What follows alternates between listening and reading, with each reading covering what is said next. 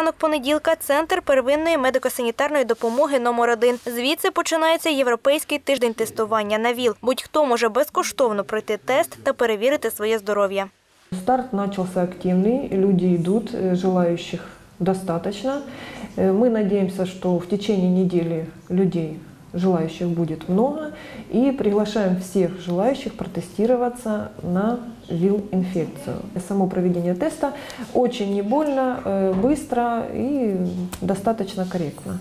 Тестування проводитимуть впродовж тижня. Бажаючих чекають у центрах первинної медико-санітарної допомоги в педагогічному університеті та в КНУ. Фахівці закликають пройти тест усіх свідомих криворіжців. Виявлення на ранній стадії дає можливість запобігти незворотнім процесам в організмі, а пізня діагностика та відтермінований початок лікування становить загрозу і для людини із ВІЛ-статусом, і для суспільства.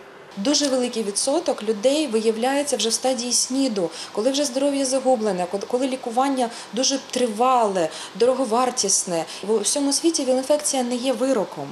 Е, Є якісні ліки, е, є фахові консультанти. Подібні кампанії експрес-тестування покликані охопити діагностику якомога більше людей. Медики стверджують, достовірність цих тестів 99%. Мы рекомендуем обследоваться чаще. Это группам риска.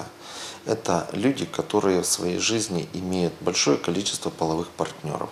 Это люди, которые в своей жизни пробовали употреблять наркотики. Они имеют больший шанс инфицироваться. Доказано при употреблении антиретровирусной терапии, когда вирусная нагрузка приравнивается меньше 20 копий в одном миллилитре крови, эти пациенты не опасны для окружающих. За досвідом попередніх акцій фахівці кажуть, у кожного 25-го тест позитивний. Існує інкубаційний період від місяця до трьох, коли виявити вірус практично неможливо. Тому тести варто проходити кілька разів. Розпочати не пізно сьогодні. Юлія Стахальська, Володимир Нестор, Вадим Діденко, програма Місто.